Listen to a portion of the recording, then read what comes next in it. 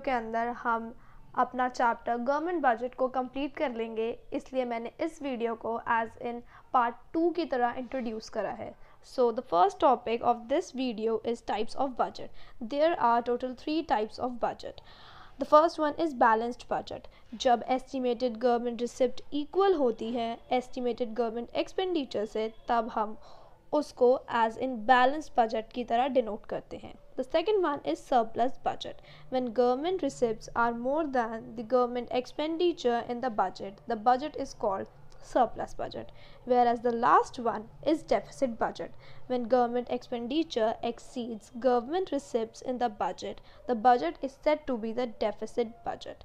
So these are the three types of budget which has been discussed in your textbook. And iske ऊपर जो questions आते हैं वो बहुत ही इजी एंड डायरेक्ट आते हैं। कभी कभी एग्जामिनर डायरेक्टली पूछ लेता है कि कौन से थ्री टाइप्स ऑफ़ बजट्स हैं एंड उनके बीच में डिफरेंस सो so, ये बहुत ज़्यादा स्कोरिंग टॉपिक है। अपार्ट फ्रॉम दैट इसमें से इस टॉपिक के अंदर से बहुत सारे क्वेश्चंस आते हैं पेपर में। So now let's read some of the points related to the previous slide the government may spend an amount equal to the revenue it collects जो हमने पहले बात करी थी this is known as balance budget the second point is if it needs to incur higher expenditure it will have to raise the amount through taxes in order to keep budget balanced third point when tax collection exceeds the required expenditure it is called surplus budget fourth and the last the most common feature of government budget is the situation when expenditure exceeds revenue. This is known as deficit budget.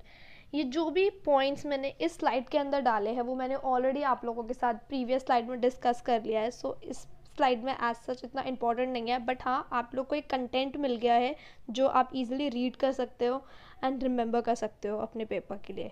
So now the next topic is some measures of government deficit.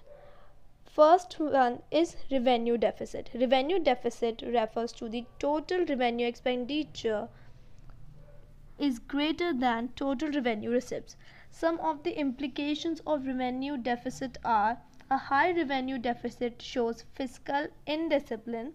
Second, it shows wasteful expenditure of government on administration. Third point, it implies that government is dissaving, that is, government is using up saving of other sectors of economy to finance its consumption expenditure. The fourth one is it reduces the assets of the government due to disinvestment. And the last one is a high revenue deficit gives a warning signal to the government to either curtail its expenditure or increase its revenue. Now let's discuss about the fiscal deficit.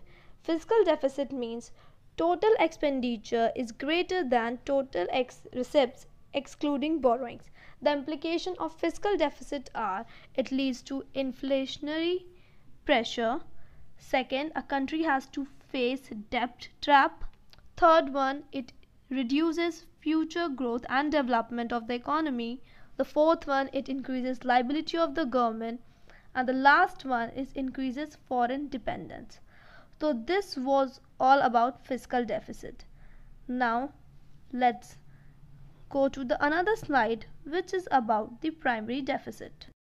Primary deficit is refers to the fiscal deficit minus interest payment.